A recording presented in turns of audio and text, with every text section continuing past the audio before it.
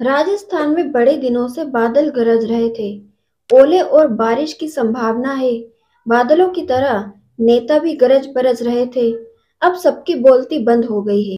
आज मतदान है और इस दिन केवल मतदाता बोलेंगे और कोई नहीं।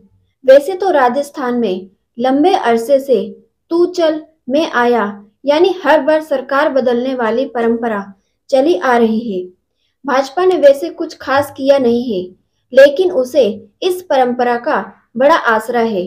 पिछले पाँच चुनावों से अब तक यहाँ एक बार वसुंधरा राजे और दूसरी बार अशोक गहलोत मुख्यमंत्री बनते रहे।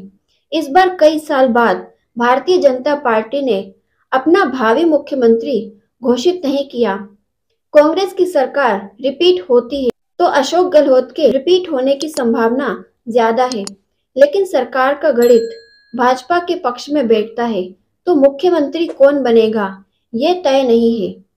दूसरी ओर राजस्थान के मुख्यमंत्री अशोक गहलोत, हर बार सरकार बदलने की परंपरा वाली बात मानने को तैयार नहीं है।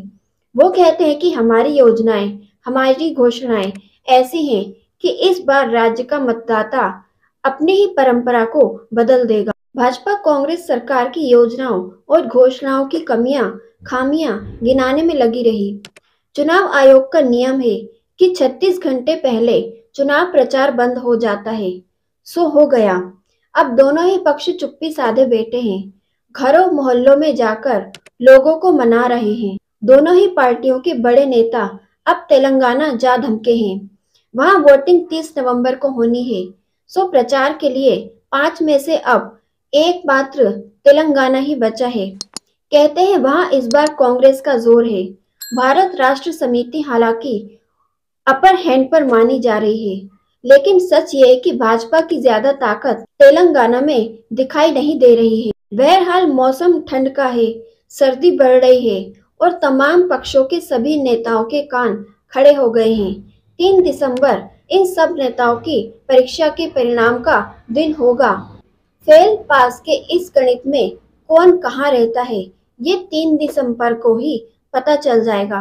दोस्तों, आपको तीन दिसंबर का कितना इंतज़ार है और आपके मन में क्या है, आप क्या चाहते हैं, कहाँ किसकी सरकार हो, कमेंट बॉक्स में ज़रूर अपनी राय रखिएगा और आपने राजस्थान में, मध्य प्रदेश में किसको वोट देकर आए हैं, किसकी सरकार चाहते हैं, ये भी ज़रूर बताएगा। तो दोस्तों फिर मिलते हैं आगे इसी तरह के नेक्स्ट वीडियो में। धन्यवाद।